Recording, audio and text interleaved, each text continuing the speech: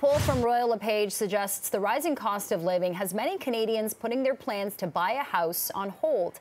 19% of those surveyed by the real estate company say higher interest rates and inflation have caused them to postpone or deprioritize purchasing a home.